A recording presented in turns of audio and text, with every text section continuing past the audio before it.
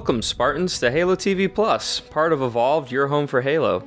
I am your host, Oran, and on Halo TV Plus, my guest and I recap Halo's original television show, Halo the Series, and we discuss its contents and unique canon within the Silver Timeline.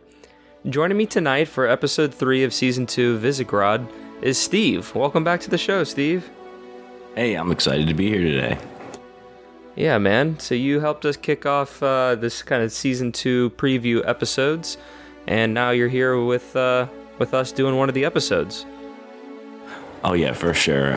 Um, I didn't get to do episodes the first time around. I don't think I was here for the first season, so I'm super hyped for this one. Yeah, it's uh, it's pretty nice. It's it's really good. I I enjoy maybe a little selfishly, but it's just kind of how the show's structured. Just talking to a different person each week, and kind of getting their take as as the season progresses and uh, and yeah, this is nice. We're we're one week after our double episode premiere, and I can I can feel the creep now of just like oh, just I can't wait till next week's episode to see more and all this kind of stuff. We got a little spoiled with our double feature last week. Yeah, it was it was definitely a heavy hit right out of the gate. It was a long stretch to get here, um, but it, it was nice. I was happy to get to it once yeah, it, will be yeah, oh, and it since it's only eight episodes, I'm I'm hoping it kind of just keeps moving, um, especially with uh with episode four. But we'll we'll get to that when we get to that. It's gonna go so fast. It it is gonna go fast. I think once it picks up, it's it's gonna go. Uh, but uh, but this is episode three, Visegrad. If you're a returning listener, then you know this, but if you're just now joining us, Halo TV Plus produces two podcast episodes to accompany each Halo the Series television episodes. This is the commentary episode where, in a moment, Steve and I will watch Visegrad and discuss the events as they unfold on screen. We encourage you to watch along with us. If you haven't watched the episode yet, we recommend that you watch it before listening and watching along, as we often spoil scenes uh, while they happen and even before they happen. Tomorrow we will release our analysis episode that will dive a little into a little bit more detail as well as some predictions for characters and scenes in this episode. Additionally, if you're new to the show, welcome. Halo TV Plus is part of Evolve that hosts a variety of other Halo related podcasts like Podcast Evolved, HCS Pro Talk, Mission Debrief, Builds with Blocks, and Halo Book Club. You can learn more about each of those shows on our website, evolvedhalo.com. Evolved hosts another show called I Would Have Been Your Podcast, which is a Patreon exclusive podcast for our subscribed patrons. If you're not a patron and want to learn more, you can head over to patreon.com slash haloevolved. Patrons receive a variety of other exclusive rewards, such as early episodes, access to our original 18 song soundtrack, unique swag, and access to our private Discord channel, and more. Shout out to all of our current subscribers. Thank you guys so, so much for your continued support every single month and every single week. Uh, we're very pleased to give you guys the content that we're able to provide. I have a quick little announcement before we dive right in. Starting on Tuesday, February 20th to Tuesday, February 27th, Halo Infinite's ultimate reward will be Vanek's helmet for, I think, any of your Spartan cores as well as his visor color, uh, which you just earn by logging in. It, Kai and Riz, they've already had their helmets being featured as the ultimate reward for this current sort of like season cycle or or what are they calling it? Mission cycle? Content cycle, I guess. Con- content cycle. There, there's um yeah, like our operation cycle, I guess. And they 343 has said that they are looking at ways for players to acquire old rewards, and they're looking at the Spartan point system from Master Chief Collection, and so that might come into the game in the relatively near future or sometime in the not too distant future. So if you miss those helmets, that's probably an avenue that you'd be able to re or not reacquire, but just acquire. And uh, and yeah, but you still have Vanek's, and I wanted to put that out there now so then people can kind of make plans to get that ultimate reward because by the way we do our episode releases it's kind of on the tail end of their reset. So uh yeah. Steve do you want to take us away on what happened last week with the ep- second episode sword? And listeners i recommend getting the episode queued up because we will start watching after this. Yeah so last week or well, last week we had both episodes, but on the second episode, we got a bunch of Dr. Halsey being held prisoner in some sort of hollow room, and we find out that it's Ackerson that's holding her. Um, she's kind of being psychologically tortured by the Flash clone that comes in and helps serve her and like be friendly to her and keep her company. It's just a girl named Julia that's been playing backgammon with her. Um, we have Riz dealing with her injury that she got at the end of the last season. Chief's trying to push her hard because he knows what's coming, and she's not looking too good. They're they're kind of doing this uh, homage to the Ring the Bell from Fall of Reach, where they're dealing with a bit of an obstacle course and shooting at each other, and she's trying to climb up and hit this sort of beacon that's up in a rock face of sorts, and she almost makes it, and Chief sees her struggling. He can take a shot, but he decides not to because he wants to see her work for it, and she doesn't. So she's dealing with a bunch of issues from that. We get Kwan again, of course. You know, we, we just can't seem to get away from that, but I get it. You know, things are things are looking better for Kwan this season. She's dealing with being hunted down. She's some sort of indentured servant and is not having that life. She is not about it. I don't know what rules they have to deal with there, but she's like, you know what? I'm I'm I'm just not living this life anymore. Screw these guys. We get Ackerson Kai talking about Chief behind his back. You know, there's still that question of Chief's uh, stability, so to speak. We've got Ackerson pushing his propaganda, but also questioning it behind the scenes. He's trying to get Kai to, to turn chief. Be like, hey, he's not doing too hot. Well, we should take him off the lines. But she she's loyal to him. She doesn't throw him quite under the bus. We get Chief meeting with Perez, trying to get her to open up about what happened on Sanctuary because he knows she kept her mouth shut, and that's part of what's helping Ackerson push his propaganda. We know that at the end of the episode, the Covenant sent a small force. We're assuming it's a small force. That's where we got Makee returning, and they took. It was the large artifact they took, right? Well, I think it's a little ambiguous as to if they took it or not, but I you would, I guess, imply that they did take it before they would then attack the planet. But yeah, I mean, they they've somehow found the location of the large one at the bottom of Sword Base, and it, that kind of is the final stinger that uh, Makee is looking at the larger artifact. Yeah, Makee's there with one elite, and they're obviously not fighting anybody actively. There's nobody putting up any sort of resistance, and they're like, "Oh, hey, the artifact." So we can probably safely assume they're in possession of it.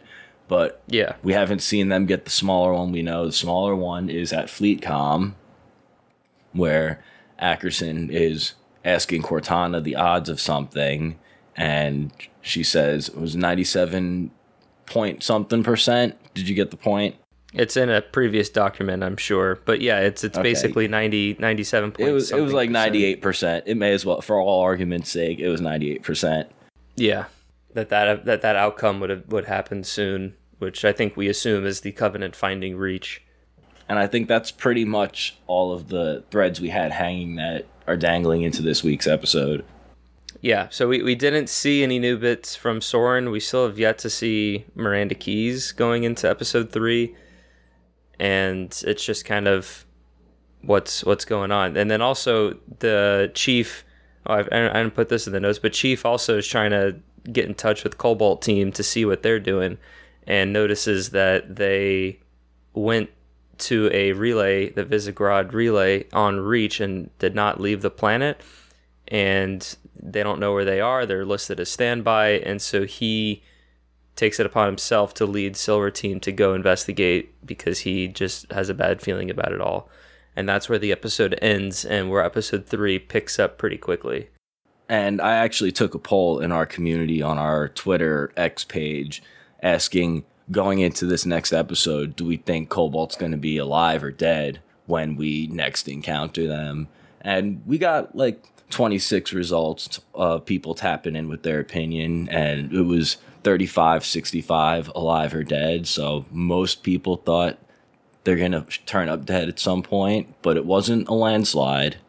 So let's keep that in mind going into this episode. Yeah.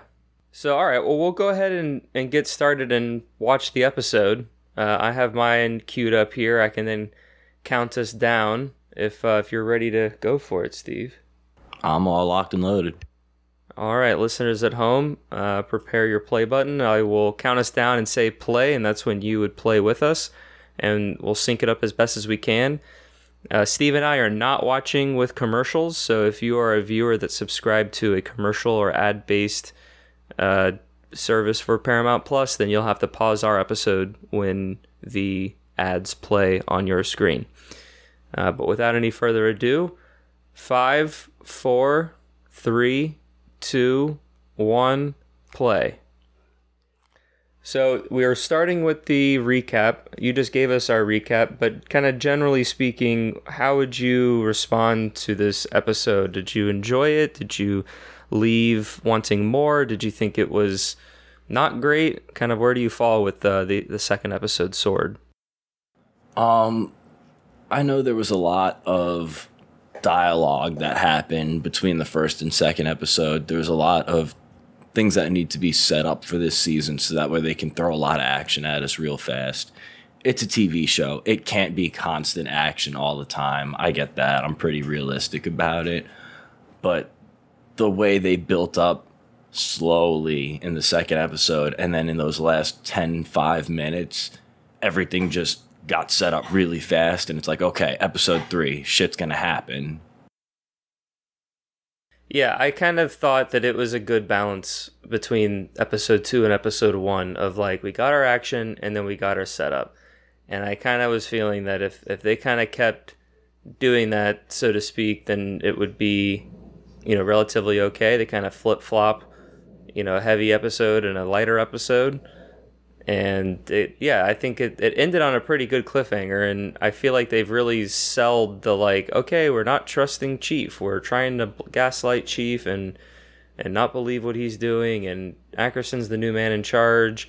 We have these other spartans and i feel like it, it has done the will the world building that i think it kind of needs to to where now we can just kind of get to the meat and potatoes of the story.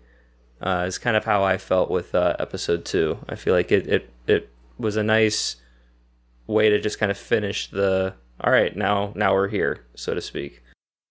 Yeah from from the end of two going into three we've pretty much grabbed all of our loose hanging subplots and side plot threads from the end of season one and we're bringing them into the fold. You know there, there, no one's going to magically just flip a switch and we're going to be running perfectly parallel to core canon but they're obviously trying to walk it back to be more in line with it and they slow rolled it, but it, it's working so far. You know, we'll see how it keeps going. Yeah, I think. Uh, yeah, no, I, I definitely agree. We'll kind of see how it goes. I, I think the the setup, the first two episodes are have really done a good job of like being kind of core canon adjacent whereas like season 1 was definitely kind of really on its own in some regards and even kind of going into this episode, since now we're starting to get into it with Silver Team here on the sort of as- outskirts of Visegrad or the Visegrad relay, uh, it's like, oh, this is kind of nice that it's like this is basically Noble Team going to investigate the, the relay going down and kind of going on. And and so we're we're more core canon adjacent this go around that I definitely think is a much stronger direction because they're still able to change things that they need to change to make it unique and within its own timeline, but you're still closely adjacent to what you know fans and people who know of the franchise as core canon. So it's kind of appeasing, you know, both boxes. So I'd say like, yeah, like the first five to seven minutes of this episode, I was like super excited because it was like this is this is kind of what we're getting into, uh, and then that kind of quickly goes away, as we'll see in a little bit. But yeah, at this point, they can they can still tell the story that the longtime Halo fans know while still changing up a bit of it to be surprising to us and still keep things making somewhat sense for newcomers. Yeah, like I don't think we need like a noble team or anything because we have Cobalt team to a degree, but I mean Silver team could just kind of be noble team. Just, you know, they're the ones doing the stuff cuz we know who they are. I think a huge deciding factor in that also has to be the fact that we're dealing with 8 episode seasons. Yes.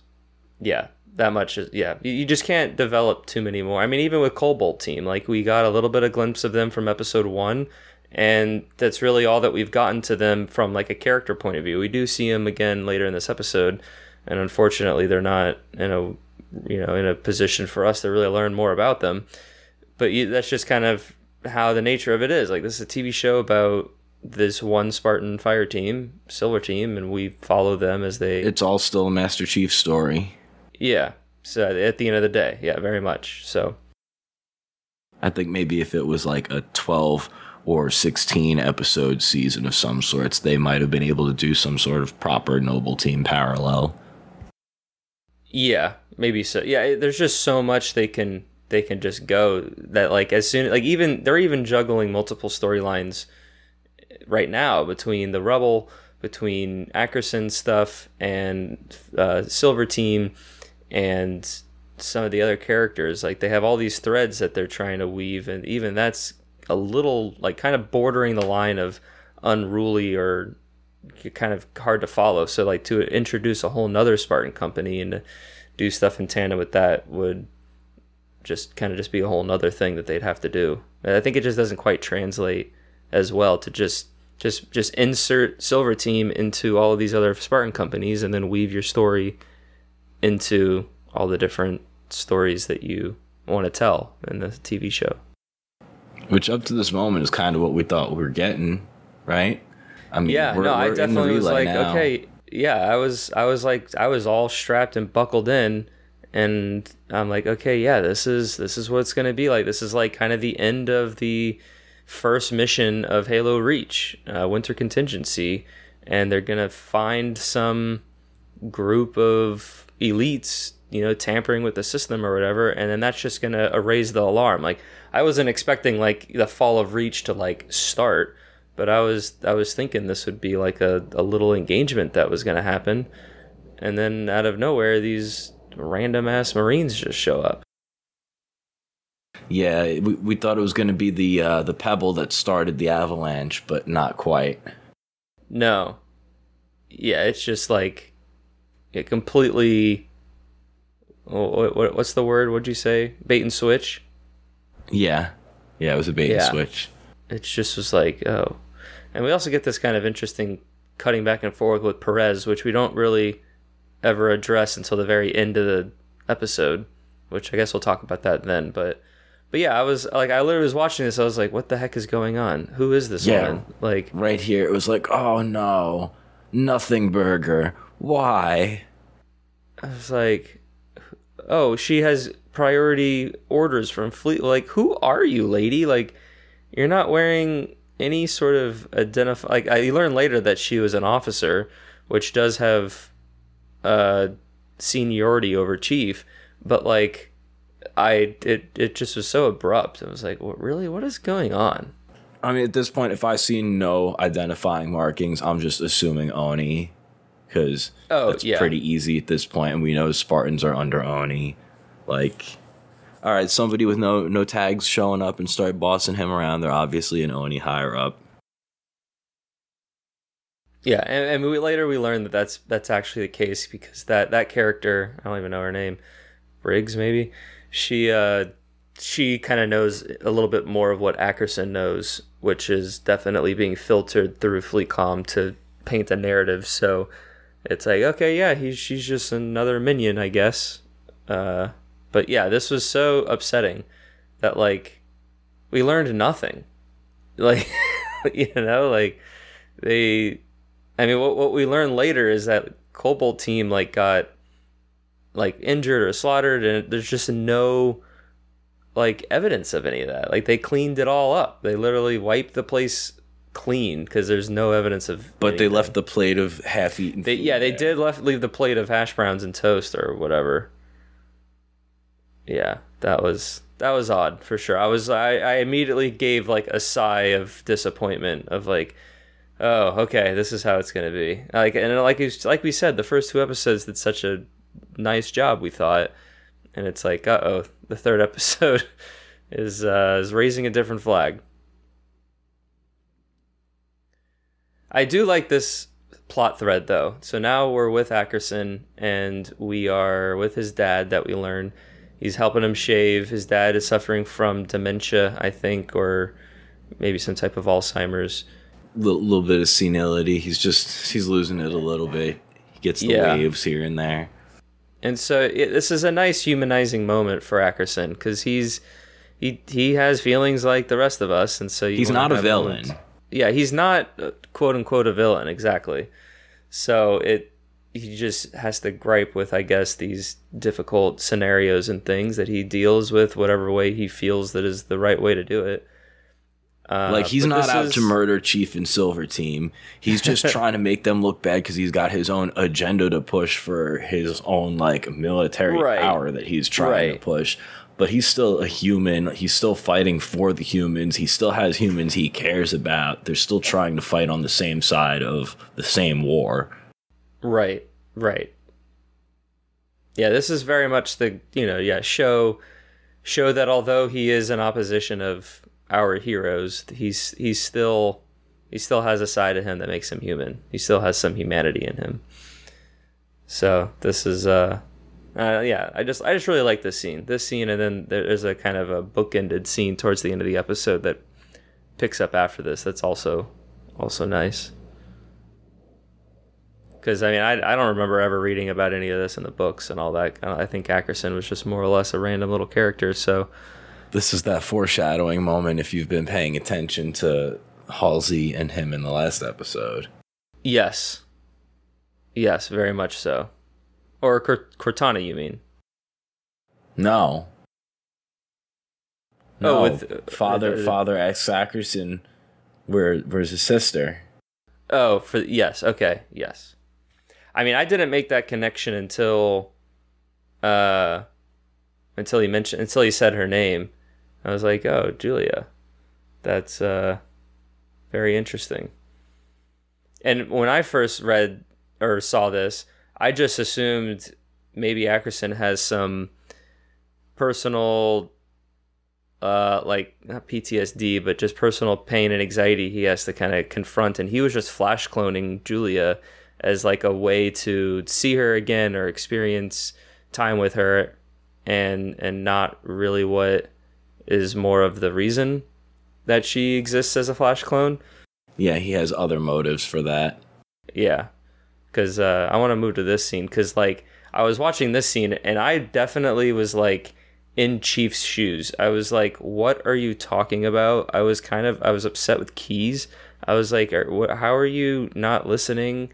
Like, are you in cahoots with Ackerson?"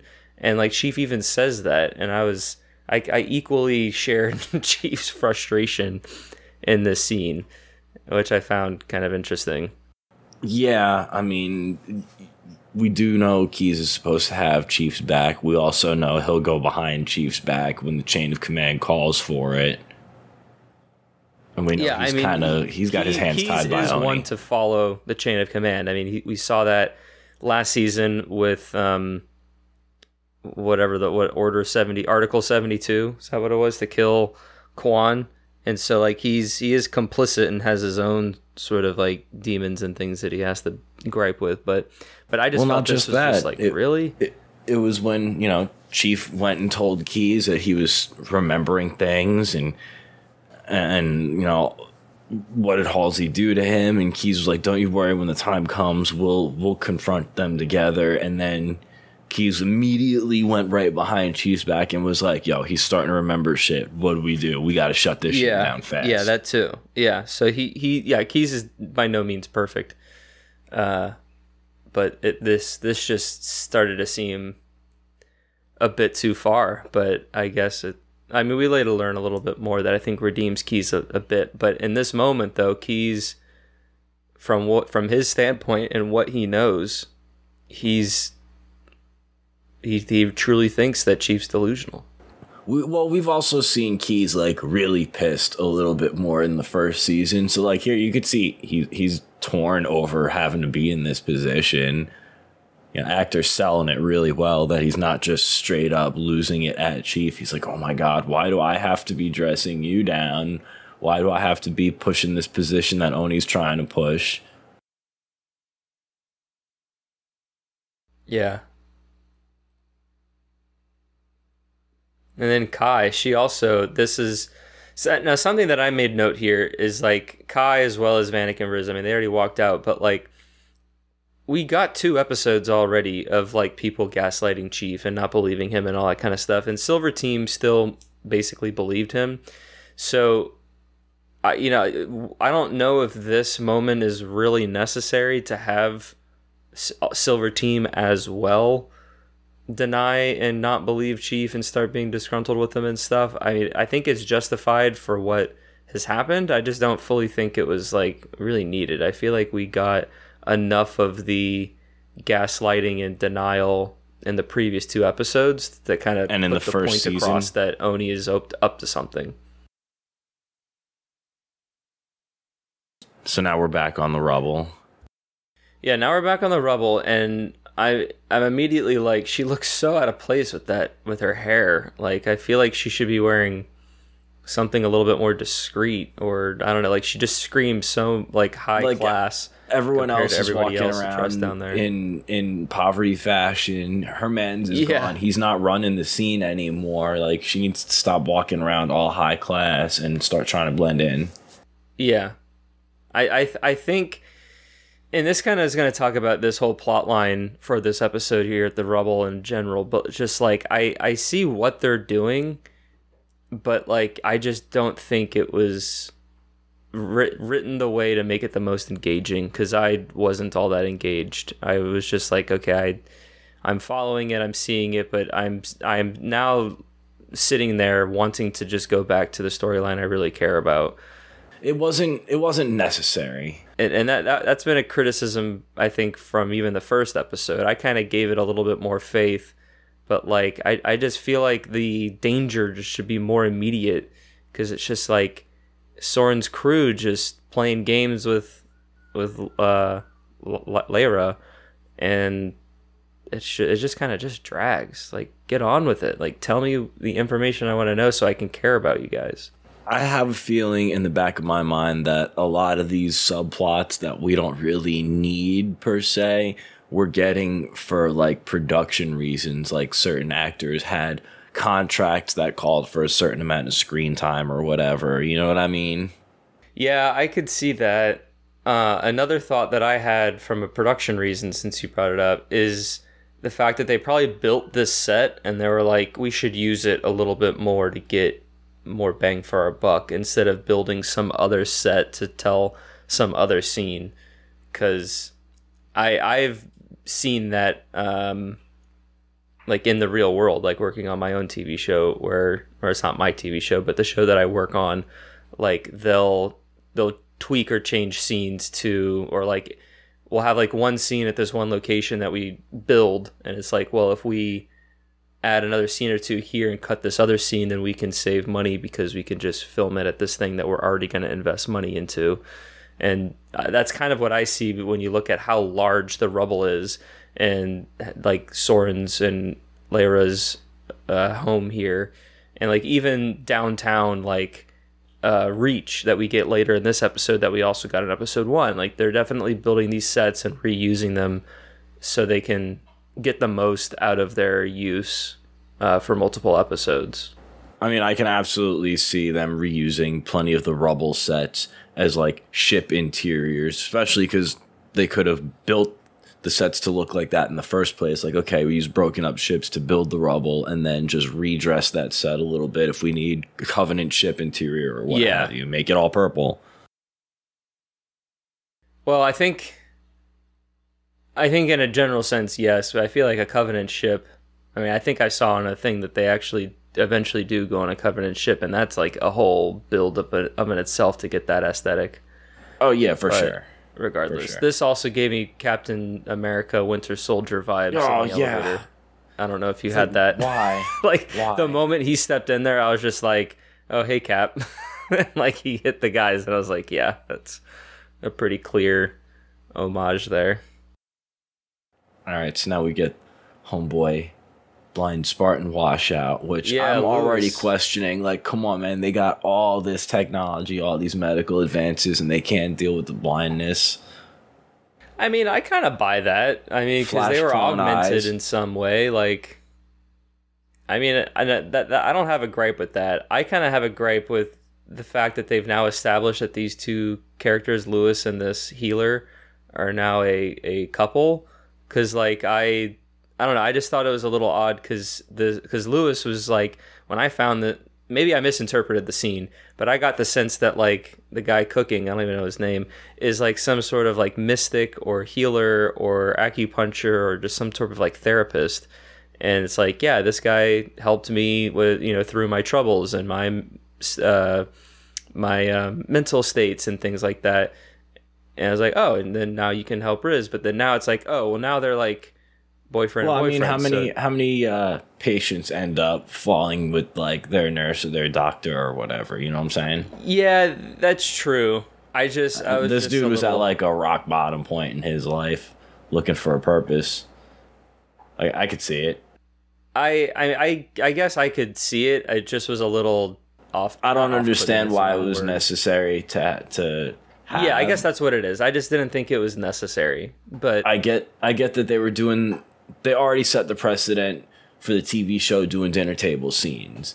So like they're just throwing more of them at us now so they can do a lot more dialogue to set more stuff up. It's an e- you know, it's an easy thing to do for TV. That is true. scenes. This yeah, that set's much easier to pull off than you know. You got to save your money to do your big battles, I guess. So, but I do like just to wrap up that scene. I do like the point of the scene, which I guess is what matters at the end of the day, which is Riz going to Lewis saying, "Hey, a few days ago you mentioned that there's more to life than just being a Spartan," and I I kind of like her exploring that of herself uh, to kind of just see where that takes her, especially after what just happened with Chief and the, the you know ima- imaginary mission. It mostly just left me questioning like in the core canon we have most of the Spartan washouts got reassigned in some way, shape, or form. And Yeah. doesn't quite seem like that's what happened with this dude over here, Lewis or what what, what, his name was. Yeah, his the blind. Yeah, Lewis is He blind Lewis? Spartan. I could have sworn they called him something else the first time we saw him. Uh, I remember Lewis and the subtitles say Lewis, so I'm gonna Okay. say Lewis. Maybe it was just a weird sound thing then. But yeah, I mean, they couldn't have given him cybernetic eyes or flash cloned eyes or like had him set up doing, you know, listening to to audio stuff with his But also, but Spartan maybe hearing. maybe he didn't want to do that. You know. But that's true. Yeah, in core canon, you had characters that are washouts, like Soren, for example. He he had like a desk job for a no. Soren ran off. Well, he ran off later on because he was, but but when he first washed out, he uh, he had like a desk job at ONI doing something, and then he was talking to some other character who was fighting for the insurrection and kind of brainwashed him in a way and basically convinced Soren to defect. They Mickey'd and then that's when he escaped and then eventually got away. So but yeah, to your point, there's probably something he could have done, whether at FleetCom or in the UNSC, to kind of continue being, you know, quote unquote Spartan or just some other type of uh, support character for the UNSC. But instead, he's not. He's kind of doing his own thing. But I mean, he's he's there, so he might be doing something. Maybe he's just like a We see him in a Spartan- gym. He's probably he maybe he's some sort of physical trainer that helps a lot of the troops at- Yeah. at best. But I mean, how much is that really? Like you, all I'm saying, I feel like there's more he could have been doing. But I, I would argue that since he the way he's talking to Riz is that he's very happy with where he is and that he's Oh, yeah, found for that sure. purpose. So yeah, I guess he could be doing more, but for him, this is enough. So, uh, so now now we're with Kwan and uh, Liara again, and I I like this scene because of just purely what is being talked about. Like I like that Kwan is she has some guilt that she's dealing with because this is finally like the the first moment this entire season that we really get to know what happened to Kwan between the two seasons. I just think this whole scene is just completely out of place. Like I feel like it should just like I feel like they inserted in there because they needed to. We could like- have assumed everything that they said and didn't need them to confirm it.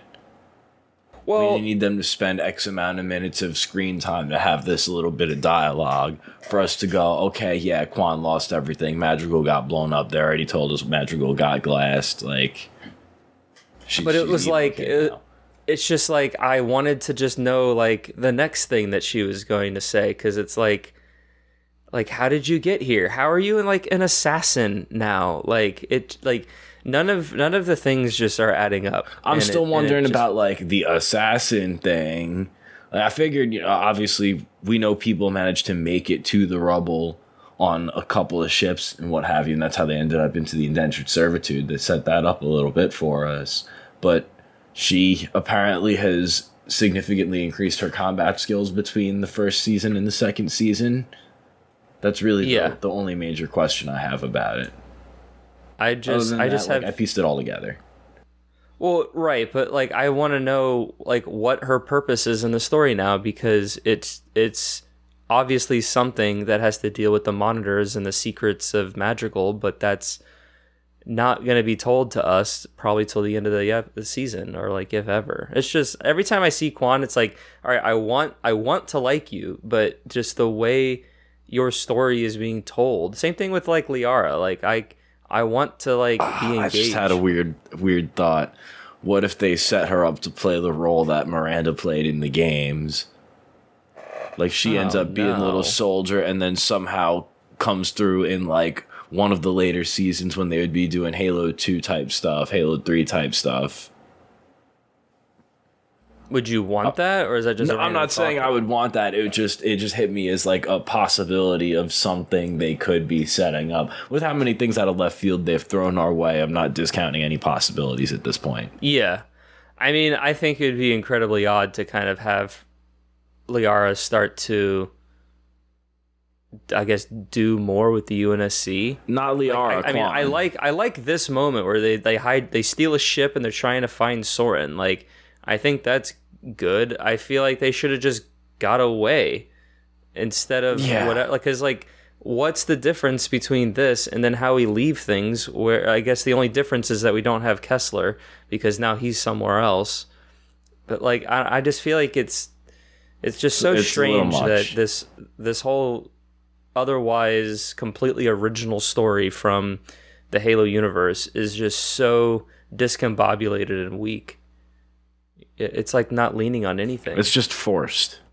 yeah. It, it doesn't feel natural. Yeah, exact yes, exactly. It doesn't feel natural. That's that is 100% the thing. It's like it's all just here for us to watch and I, you know, since I'm watching it, I want to feel for it. I want but I, I mean, I get that she wants to find Soren, but like these two characters like the goons, it's just like big yawn. Like it's not personal. Well, yeah, it's personal like and then I don't know. fucking Kwan just kills them all. Like I, I don't know. Okay, but now here we Uh. go. We get the answer to our, our burning question. yeah, so this is so this is another mixed bag scene that I have cuz on the one hand, I like it because it it's telling the audience that Keyes doesn't or didn't know and now he knows and he's like disgusted by it and he he questions and he kind of combats Ackerson a little bit. Um, you talk with or you learn that the the officer there that tried to arrest Chief is like complicit and like aware of all the shady shit that Ackerson is doing. But what also gives me questions is like, okay, so some covenant force had the strength to defeat four Spartans, yet the presence of the covenant is still remaining completely un like secretive and unaware to the general public. And even those who are aware of it because the UNSC and ONI are aware of it they're just all okay with the fact that they just killed four Spartans and we're not doing anything about it. Like I just that to me was just like like what I don't yeah, know. We, uh, we know we know Ackerson's trying to push his own agenda, but at what point do red flags start going off in other points of ONI and the UNSC? I, I feel like I feel like Visegrad like this episode. I mean, we'll see what happens either in the next episode or later in the show, but like, I'm I'm wondering what would have happened if we introduced the Spartan th- threes like now, basically, where it's like, okay, the Covenant are on reach. Like, we need to mobilize. We need to get an attack. Like, it it doesn't need to be all out construction or destruction like episode four is probably going to be like you can have small battles and you can you can have uh Keyes and ackerson like okay these are you know basically what halo wars 2 and halo wars is. It's like there's these tiny little engagements and we're gonna plan and we're gonna attack here and then we're gonna mobilize and attack here. And it's like that's what i thought this episode was gonna be like. And you don't need to show so much of the covenant. You can keep it to just that opening scene and then you know oh we just got slaughtered at this you know command post echo. And it's like okay well they got slaughtered there. How do we regroup? And like i feel like he can introduce the spartan threes here and start showing a little bit more like resistance because i'm on Keyes's side in this scene where it's like so what? We're just not gonna fight? And he goes well we are gonna fight but we're gonna lose. And it's like well why aren't we fighting now? It's just it's just a weird scene to me that does a little bit but also doesn't do enough. They're obviously trying to express the sentiment that we got from the books when they were setting up the Spartan 3s initially, where they were kind of a throwaway suicide bomber type force that was just meant Right. to buy humanity time. But they did a very poor job of explaining it here. Like, we know what they're trying to say because we know the the original lore very well and Yeah. we get the subtext but like they just don't do a good job spelling it out for everybody else or like making it flow smoothly and cohesively Yeah, no, I, I agree. Like I don't, I, I think I'm trying to think about the showrunners and the writers to see like how they are doing it, and I guess they're just gonna explain that all later, whether it's the next episode or not. But I I feel like it just would have been stronger. Like that would have been the perfect scene to for Ackerson to just lay out his hand and be like, "All right, Keyes, this is what's going on. I need you on my on my side. I need you in my corner." Like he asks that. Like he should play his whole hand to convince him. And it's like we have we have these new Spartans. They're gonna they're gonna help, and we're gonna evacuate the city, but we can't do it just yet. We're not ready. Or you know we're finalizing the final thing. Or Cortana Cortana is doing this last computing. Or you you could say whatever it is to to kind of justify the delay, but just the kind of withholding information is what this show is doing a lot about, and it's just frustrating because it's like you want they're me to care the fuck about out of us yeah, it's just like you you want me to care about X, Y, or Z, and you're trying to do something, but you're like deliberately leaving information out of the viewer to be, be to be knowledgeable of that it just just doesn't add up. there's not enough substance to go with the suspense to prevent fatigue from it all Yeah, and I think and that's my main issue with like the Kwan and Rubble storyline, and I'm starting to get like that with Ackerson because now we've had three episodes where we as core canon people know what's happening and it's like okay I, I i get i have the foundation i'm ready for the payoff. But they just keep gaslighting and building and building and building and it's like you don't you don't need all of that. Or i don't know maybe, maybe i'm maybe because i already know what's going to happen maybe i am able to piece it together a little bit more clearly than the average viewer. Maybe that's something that i never considered I don't But- think so. I think as as core canon fans, we know the big picture that's already painted in the core canon universe, and we can see the same colors and where they're using them here in this.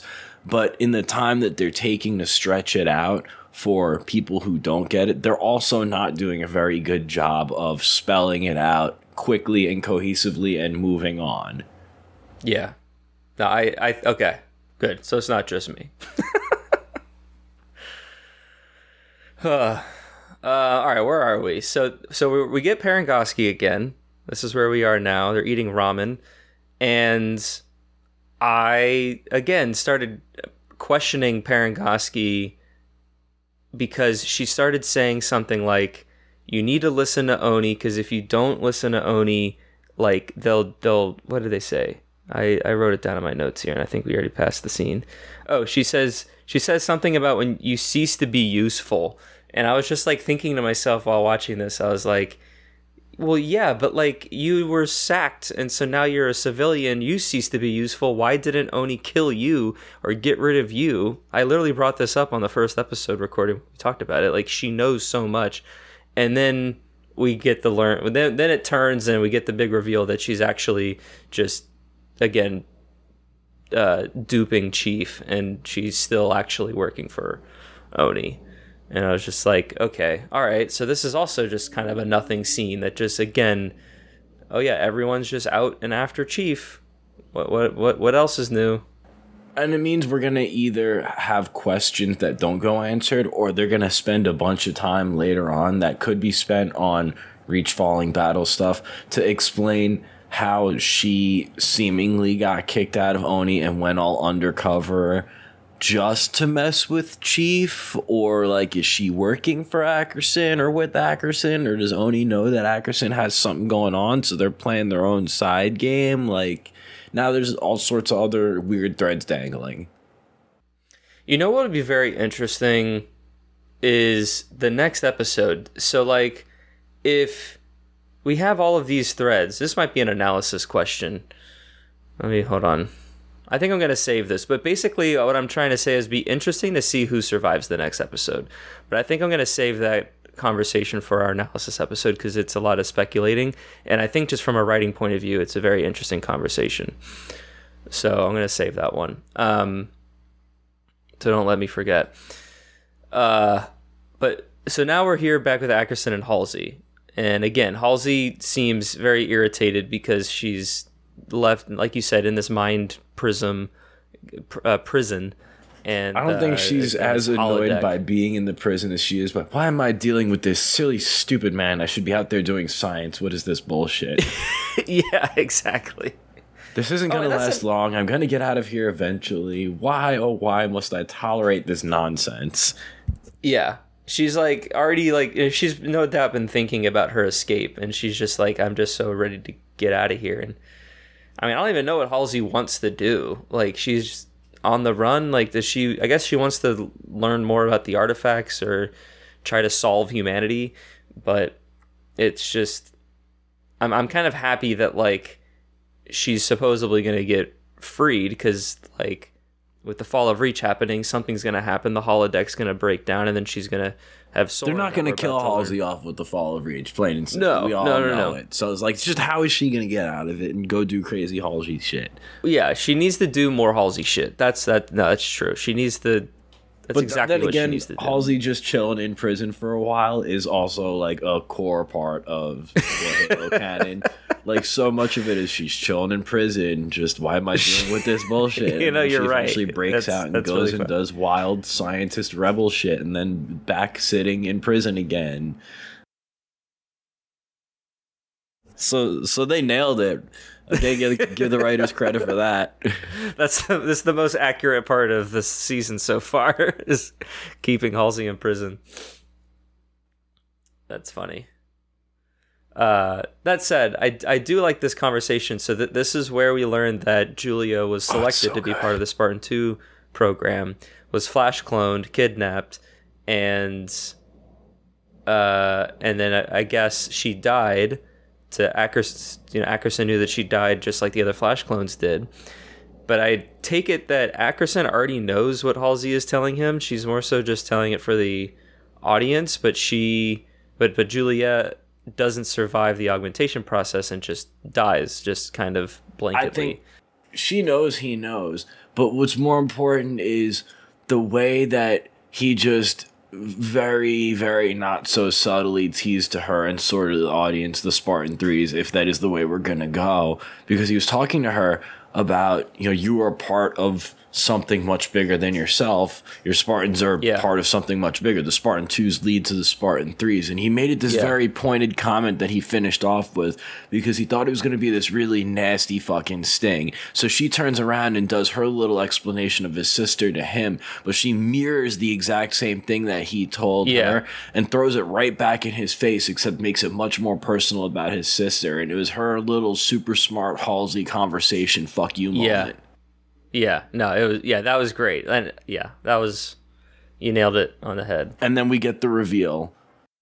The big yeah, the reveal. So uh, which again, which is uh, we kind of also talking about Kurt on how Kurt was kind of like abducted and then sent to kind of train Spartan 3s to where in in the silver timeline here Ackerson has now basically captured Soren, abducted him and then put him with Halsey. Now I'm interested in to to think about what Ackerson's overall plan was? Like, did he just assume that the two of them would just be in the holodeck and then eventually just die when the fall of Reach happens? Or does he still have some grand purpose or grand plan for them? I think he either could be trying to do the Kurt setup. He's got two major pieces of the Spartan program here. Uh, a Spartan 2 that knows his shit that's not currently assigned or on record, so to speak, already listed as MIA. He's got Halsey that created the Spartan 2s and her mind available, so to speak. So he could go that route, or he could just be, you know, doing the TV drama of let's just stick them together and see if they kill each other. or he could just be leaving them behind to die when Reach falls. But I think I think he's gonna go on ahead and see if he can't set up to use them both. TV Ackerson seems like he thinks he's smarter than Halsey. Yeah. Okay. So this scene is silly, uh, but so we, we come back to a conversation that Soren and Liara had in episode one, where she was talking to him to Soren about like treating his crew better and like what he did with the magical money. And Soren himself says that like it really wasn't that much. It was just like a box of of deuterium money, and it, it really didn't go that far. And uh, and she was like, "Well, your people don't know that." And he's like, "Well, so what if they do?" And so now this scene is all about This is the so what. yeah, and he wants him to hand over the money. And like this guy is like trying to boss his crew around because he's now the new captain. You hang out with a bunch of thugs and start bragging about how much money you hauled in that you didn't share with the homies, and then thugs are gonna turn around and try and get it from you, not knowing that you're lying little shit and don't actually have the loot. yeah, exactly. Yeah, this whole like I'm not even clear like their total end game. Like did they sell Soren out to someone or were they like put at gunpoint like to sell him out or like I, I'm I'm just so confused as to their overall desires because from what I'm able to follow, it's just boiling down to magical money, and it's like It is. really? It is. There's You're no doing all this just for that? Yeah of, of all the stupid subplots that they're throwing at us these particular characters are that two-dimensional they just want the money where's the money Slabowskis? Where's the money? Yeah, that's it's just it's just so disappointing.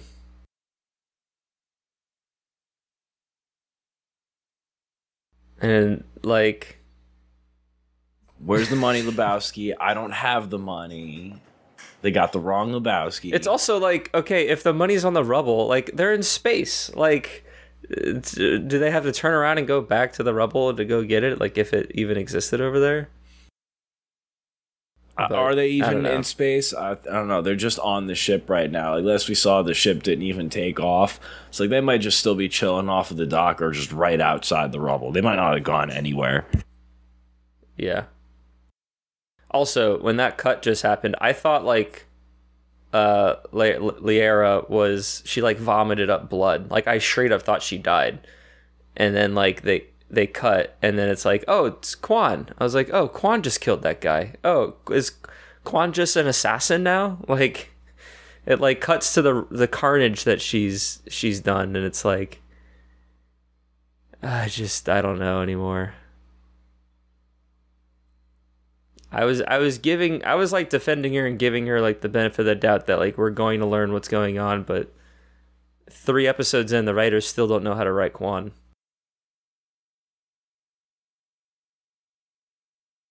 Unless she just spent her entire time on Madrigal before it got glass, just training and murdering people and getting yeah, like like the fucking the woman tries to sneak up on him, and Kwan just turns around and stabs her. Like Well, that one I got because we didn't see anything happen to that one, and Kwan's not saying anything. She's just still doing the tapping thing that she used to bait everybody else. I don't know. I I hope now that like and I'll talk about more of this on the analysis, but now that it's Kwan and Liera like there, we can finally get some like exposition and then some purpose with like what is going on. But also part of me doesn't want them in the next episode because I don't want to take screen time away from the fall of Reach. Because it sounds like they're gonna just or looks like anyway that they made cram the entire events in that one episode, which I was kind of not hoping for. And then we just get Chief talking to Nona for a minute. Yeah. So here's the kind of bookended scene from the beginning with uh with Ackerson and his dad that the time has come. Which uh is a Acker very son and Acker dad. yeah. Acker dad. It's okay. I'll sign off now. Bye. That's great. Oh man, I wish I could like rename the episode to that or something. I might have to weasel that in somewhere. Acker son and Acker dad. And then we get Acker daughter coming in too. Okay, but here, I think we gotta we gotta pay attention to this because the thing we talked about. We weren't supposed to talk about. Don't let them take me alive. And today's the day. When he drops the pill, I like that actually like Oh my god, it was so it hit good. me. That was that was good. Just like It was you know what, Ackerson, you've been such a dick for these last two episodes. Fucking do it yourself. yeah, kill your father yourself. I was like, ugh.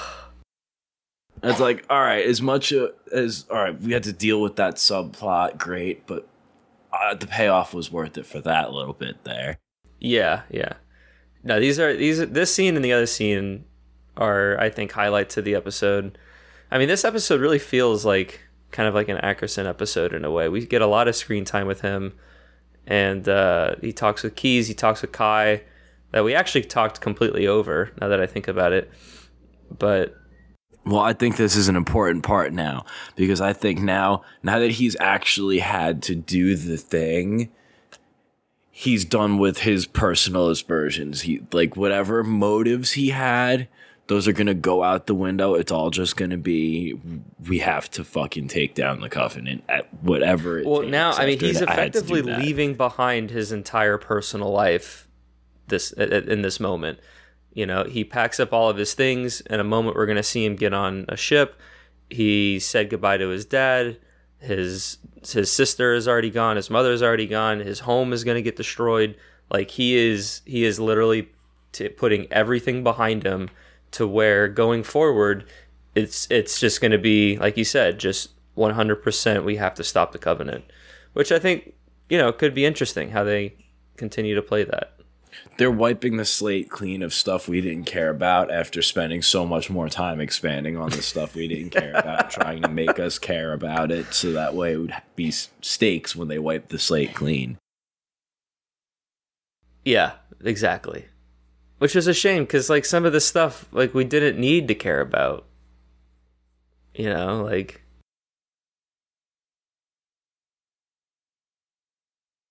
So this is our last scene. We have Chief at church with Perez.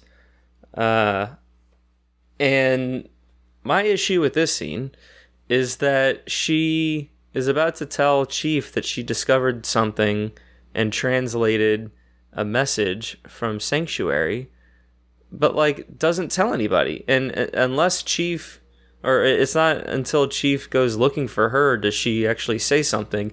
So if Chief didn't even come here, she would have just been bombed when the freaking church gets blown up. You know, TV, writing, convenience. Like why? I don't know. It there's She was logic. probably still trying to just come to terms with it and like confirm her suspicions in translations. Maybe she just already gave up hope. Maybe she just was like, "Oh, I figured this out too late. We're go- I'm gonna. I know I'm gonna die. I'm just gonna go to church and pray." And Last time we saw her, she was listening to it. So she probably just figured it out and she's like, oh my God. And she's like, I'm going to church and praying before I do anything else. yeah, I. Maybe I'm just not a an overly she probably also can't track him down. You know what I mean? Well, go to go to FleetCom. Go to Just mean, I asking she's- for a Spartan who's in questionable state and on punishment right now, who just escaped his security guards.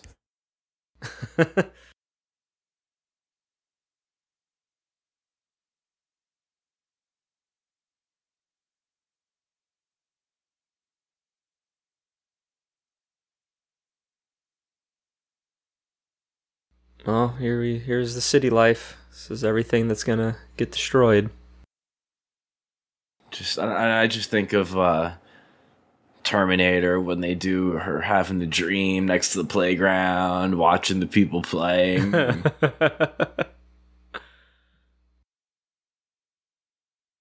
Vanek just get, getting a What's in the sandwich out of pouch? his locker. Like, yeah. Is it a sandwich? Is that what you think it is? Is that going to be our poll for the community this week? What do we think? I don't in- know. Like, what is, yeah, what's it's in just, Vanek's bag? It's a something that was wrapped up. Maybe it maybe it's like a rag, but it literally looked like a uh, like a made could have been sack food. lunch. Could have been some sort of personal belonging or something. Maybe he's thinking about his his life now that he can think about his life.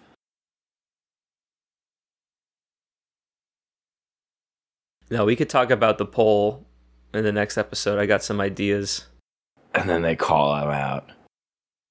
So here's here's Ackerson leaving leaving the planet. And then we get the name of the Sangheili as well. Uh it's not Thel 'Vadam. which is good in a way. Yeah, I, it's fine. It doesn't need to be Thel. Like just make him a menacing elite and we'll just fight him and It would ruin things if it made it though. Yeah. 100%.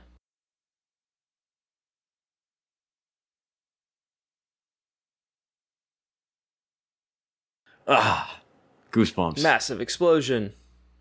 And cut. That that that's the moment that came an entire episode later than it should have. Uh yeah. We should have got Well, the Visegrad moment, degree, and then the yeah. next moment we got should have been the shit hitting the fan. But okay, Well, it's fine. we have it now.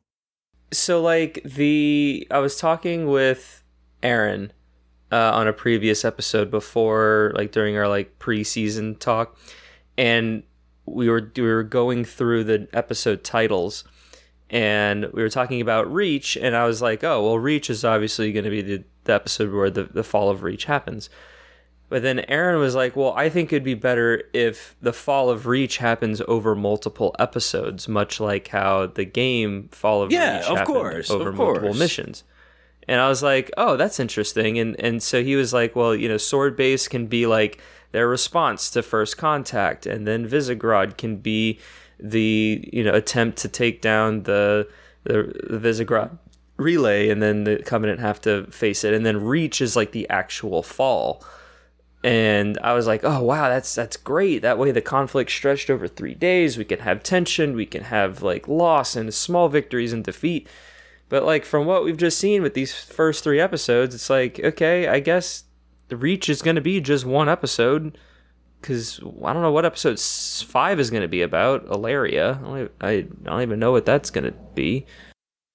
Well, I think you know, episode four will get now is the shit hitting the fan on Reach, but that doesn't mean it's going to be over as quick as it starts. We could still have Reach falling for True. the entirety of the rest of the season. Sans like the second half of the last episode.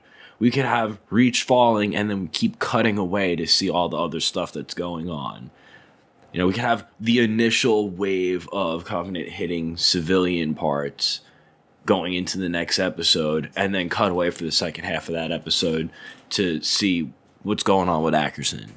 I hope that that's the case. I hope that we don't get just a one off episode of The Fall of Reach. I hope it gets dragged out. I hope we get to see like an ongoing conflict. And then So- what what episode number was Onyx again? Onyx, I think, is six Onyx is six. Okay. because so then Thermopylae is seven, and then Halo. so we'll start getting the fall next week and then maybe we see where Ackerson's going a little bit in the episode after that and going into six we actually get all of that while there's still waves of conflict happening on reach like i could see them jumping back and forth for the next couple episodes to really stretch out the fall of reach and then the characters we care about that aren't getting wiped out don't make it off until that last episode That would be great. I I think, for lack of a better comparison, if they're basically able to pepper in a few Halo Reach uh, uh, missions into the next few episodes instead of cramming it all in the next one, I'm all for that. I mean, at this point, I'm not quite expecting a parallel to the game missions, but I think No, they could I'm, I, sprinkle that's what I'm in a saying. lot Like of book just stuff from a along the general way. sense, like they they if they're able to pepper in, you know, the the moments that makes the fall of Reach the fall of Reach, if they pepper it in over multiple episodes, like you said, is is what I would like instead of them doing the silver timeline version of the fall of Reach in just one, you know, episode. Yeah, I, don't. I don't think they're going to give us a quick flash in the pan like that. Because if all right, think of it like this: What do we suspect is going to happen if we get the fall of Reach in one episode and then still have half plus of the season left to go to kill before they get to just seeing a Halo at the end of the season? I mean, Yeah, if I- we do get the Spartan threes. What are we going to get shown the Spartan threes after Reach already falls, and then they're going to replay the fall of Reach while we see what happened to the Spartan threes after we know Reach already fell from a couple episodes ago? I just don't think it's going to happen like that. I think they're going to have to stretch it out and jump back and forth, sprinkle in the threes, and then in those last couple of Reach fight scenes is when we get the threes and see them get wiped out. I mean the the ninth or no the seventh episode is Thermopylae, which sounds like a great final. That was the, the stand of the 300 Spartans. Yeah, so that could you know that that could be a great way to kind of conclude the fall of Reach sort of moment, and then the next Halo next episode being Halo, it could then kind of start bringing us into what's coming next and stuff like that. So- What was the operation that took out one entire class of Spartan threes that it was just Tom and Lucy that came out of? Do you remember Oh, the name of the operation? It was like Oh man, I don't remember it. But yeah, it was they were like targeting like a fueling supply station or something. It was like um I, I, I think that's what's going to happen is we're going to get the Spartan 3 is introduced real fast, and then we're going to get the equivalent of that operation where they just get introduced into the fall of reach and taken out that way just as quick, just to show that much more devastation on reach. it's Operation Torpedo. Operation Torpedo was a UNSC operation to eliminate a Covenant Covenant refinery on the inhabited moon Pegasi Delta. The engagement took place on July 3rd. The outcome was a UNSC victory, but at great loss. All participating Spartan 3s, with the exception of Tom and Lucy, were killed. However, all Covenant forces were grounded, as well as Covenant ships were eliminated. Yeah, I think I think we get that. We get the introduction to Spartan threes. We get that, but on reach, and then we get the moment where we think that did the trick, and no, that wasn't enough. There's a whole giant Covenant armada behind that, and that's what's going to actually finish off reach. Yeah. All right. Well, let, let's continue this conversation on the analysis episode and also talk about some of the other scenes that took place in this episode and talk about some maybe some character moments and things. We still have yet to see Miranda Keyes. I'm every every uh, every time I watch the, the episodes, I'm just like, yep, no Miranda. I'm curious what she's doing. Um, and no Cortana this episode. We got just a glimpse of her last episode, but she technically did not return this episode. So I'm I have some theories about that and want to discuss those with you on the analysis episode. Before we wrap up, um, what were your overall opinions of of Visegrad? Was it uh, you know quote unquote bad episode? Was it just not great? Was it filler? What are your kind of general thoughts uh, about it? I think it was necessary filler, not done as well as it could have been, but we got through it and we got to the important part of the story that we've really been waiting for now. Um, it was like I said, a little slower than we should have gotten there, I think, but it's not the end of the world. It could have been worse. It's not like season one all over again. So I'm happy with it. I'm content. I can accept this if I know there's going to be some real bangers coming behind it. And it looks like we're going to at least get some of that. Yeah, it definitely. I mean, the setup for the next episode is going to be huge. So it, it. I hope it has the right payoff, and I have a feeling it will, because the action sequences are usually all really good for the Halo show. Um, I I agree that it there is some necessary filler in this episode, but I I just am disappointed that with a pretty good first episode and a pretty decent second episode that it was going to be able to kind of continue writing those coattails and i feel like we've just been dipping like like one step so far as each episode kind of continues on and so i really hope that we not only get the action that we want because like you said not every episode can have the action and it is a character drama at the end of the day but i just think that there are some characterizations that just still need to be worked on like Liara and Kwan and I hope Soren we get some good things with him next episode. Like I'm not discounting anything since he's only been really in one episode, but I, I want him to be more relevant. I, you know I want to see what what's up with Miranda, and I like what we're seeing with the Spartans. So it's uh it the, the potential is still there. I'm not completely lost, uh, but I was I was a bit disappointed. They definitely they didn't get away from the point. That's for sure. Yeah. So um, all right, well, Steve, let's uh, let's wrap things up, and then um, we'll get to our analysis episode. And listeners, you can you can listen to the analysis episode tomorrow if you're listening to this uh, on the day that it drops. Thank you for joining me, Steve. Absolutely. Halo the series premieres exclusively on Paramount Plus every Thursday for the next six weeks or five weeks now. Uh, if you're interested, Paramount Plus also produces a Halo After the Show segment called Halo the Series Declassified that releases with each TV episode. This week for Visegrad, Sydney interviews Natasha McElhone as well as uh, Joseph Morgan. They play Halsey and Ackerson, respectively.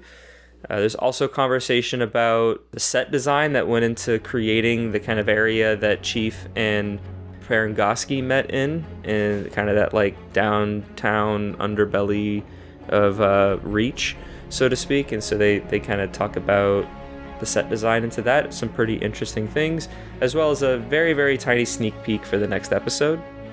Like I mentioned at the top of the show, you can find every episode to all the other shows that Evolved produces on our website, evolvedhalo.com. Don't forget to check us out on social media Facebook, X, Instagram, YouTube, TikTok, and more. Again, another special shout out to all of our patrons for supporting Evolved and making all of our shows possible. Head over to patreon.com slash Halo Evolved to learn more. If you'd like this show, please rate it or leave a review. We greatly appreciate all the feedback we get from the show to improve the quality of it for our listeners. And lastly, if you want to email us or leave us a voicemail to discuss this episode or a previous episode about the TV show, you can email us at podcastevolved at gmail.com or call us on our Google phone, which is 205 Evolved, which is 205 386 5833.